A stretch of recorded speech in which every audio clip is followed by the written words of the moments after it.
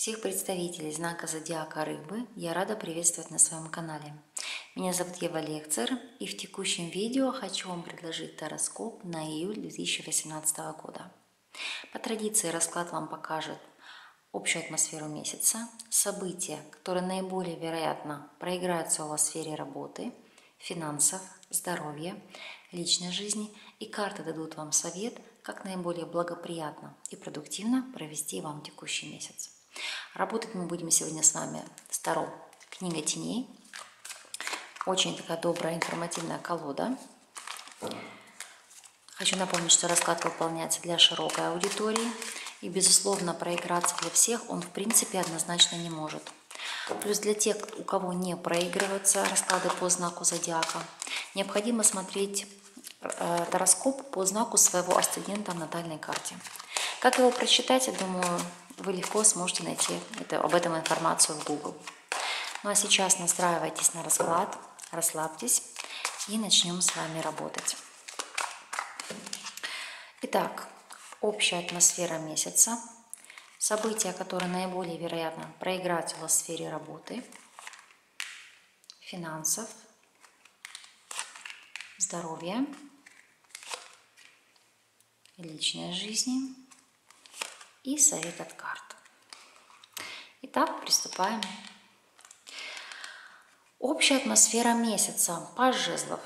Паж жезлов – это карта начинаний, карта воплощения задуманного, получения хороших новостей, в целом реализации каких-то планов и надежд. Карта импульса, который, по сути, да, ведет вас в какое-то смятение, но тем не менее это те события, либо те новости, которые заставят вас действовать. То есть вести какую-то вот спонтанную импульсивную деятельность. Но, по сути, понимаете, она вам будет во благо.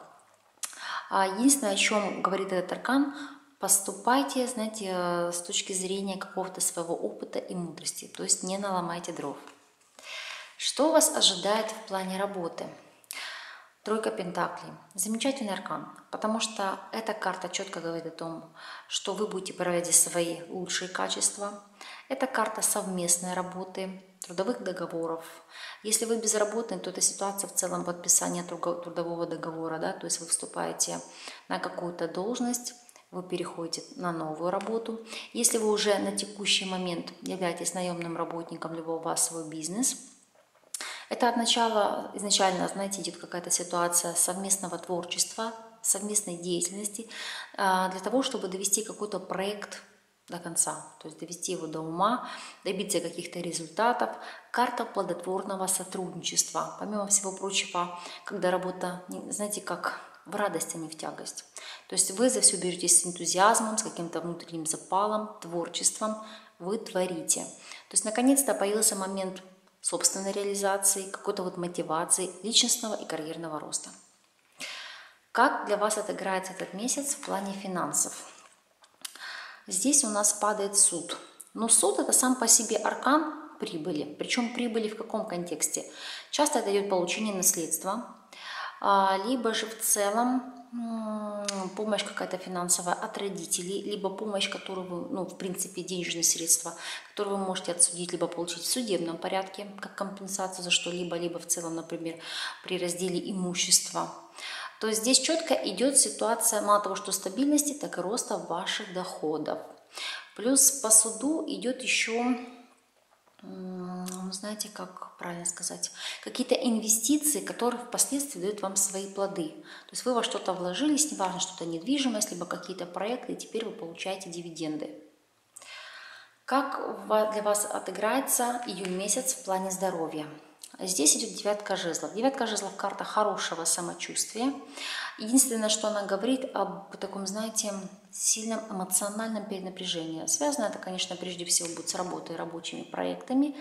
И в целом карта вам советует уделить побольше внимания отдыху. Ну, то есть каким-то приятным моментам, ситуации релаксации и так далее. Потому что с позиции здоровья вы здесь будете, как бы, знаете, как а, на коне. Потому что это карта и отличного самочувствия, и духовного, душевного подъема. И знаете, когда хочется творить и делать все сразу, но тем не менее, делу время, потихий час. Не забывайте об отдыхе. Что вас ожидает в плане личной жизни? Здесь у вас падает колесо судьбы, колесо фортуны. Карта удачи. Карта каких, какого-то шанса, то есть белой полосы, каких-то значительных кардинальных перемен. То есть если вы до сих пор были свободны либо одиноки, это шанс встретить свою половину, либо обрести действительно какого-то партнера, единомышленника, либо в целом встретить идеал того человека, да, которым вы мечтали, либо рисовали в своих мечтах. Если вы на текущий момент находитесь в паре, это может быть ситуация и бракосочетания, либо в целом перехода отношений на новый уровень за счет ситуации деторождения, а, либо же, ну, не знаю, каких-то привнесений в вашу личную жизнь. Давайте уточним, для кого как отыграется.